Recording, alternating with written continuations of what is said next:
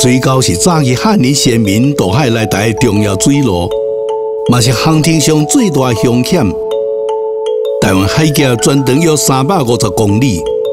平均跨度一百八十公里，平均水深六十公尺，是连接亚洲大陆东海陆边跟南海陆边的唯一通路。其实，呃，我们常常会讲说，台湾人精神从早期的移民在横渡这个台湾海峡，海峡南部是最深大约二十公尺的台湾浅滩。浅滩南边的海底地形是粗坡，加入南海海盆，东边就是最深一百公尺的平湖水路。早期的话是这样子，史书上的记载是一昼夜，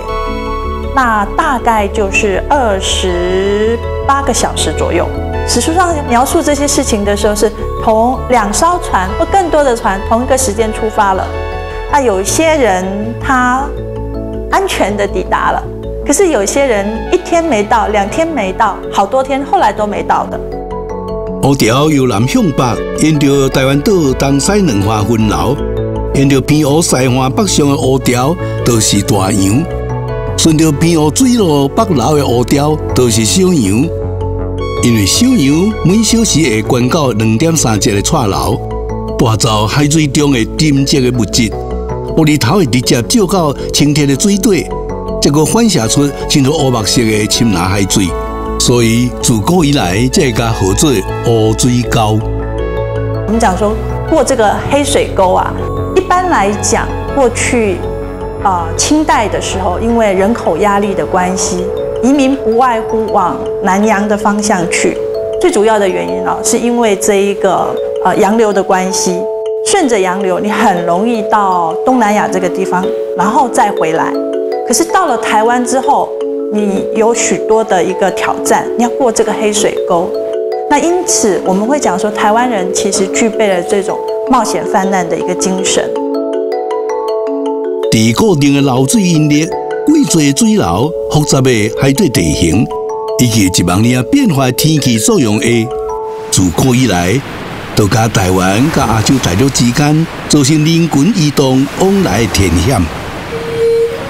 以前第一部 GPS 的年代是必须透过季风，然后再再考量一这个海流，洋流是安那造，就是他必须要去掌控这两两个姿势啊哈。伊若无这种地形有无吼，伊个准有无吼，等于是，其实咱讲的就是讲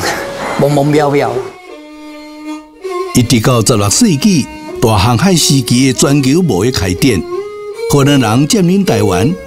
明朝末年电视时期。以及清代汉人渡海移困，二战了后，国民政府撤退来台，拢嘛是换渡过乌水沟过来。所以较早人咧使船哦，因为这个气候的变化嘛，唔是讲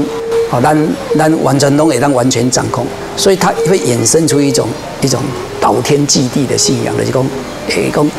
啊，不盲信来保庇讲安尼平安啊，人就会显得很谦卑，安尼这是一个很重要的。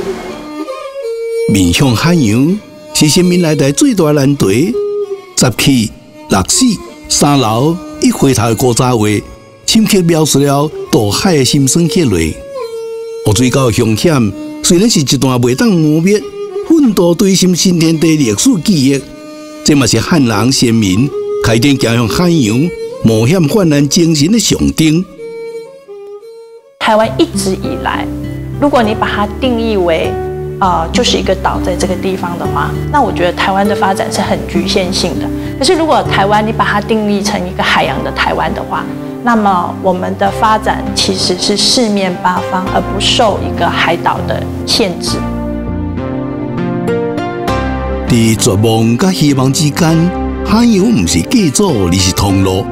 而时时刻刻嘛提醒咱，佛摩萨美丽之岛，海洋台湾。